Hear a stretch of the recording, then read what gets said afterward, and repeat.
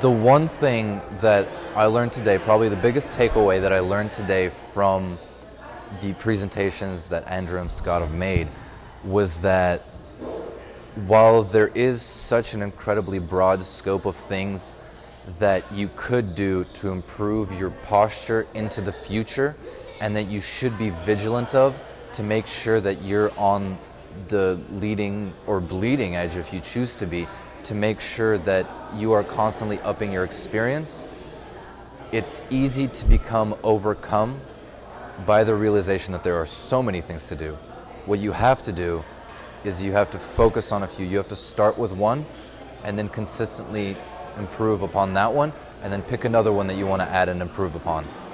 I think that's an incredibly difficult momentum change when uh, companies, especially when they have poor patterns.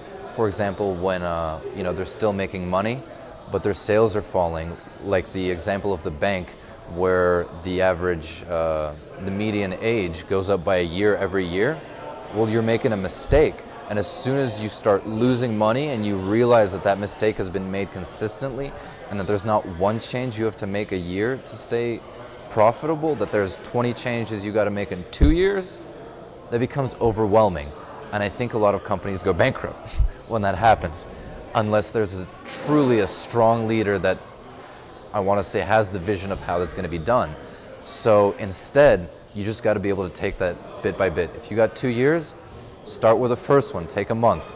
Start with the second one, do the second month. If it takes two months, let it, it's got to take two months. By the time you've turned around three or five, you're already doing better than a lot of people. By the time you've turned over 10, you're way ahead of the game. If you can get all 20, you're probably the best company in the world.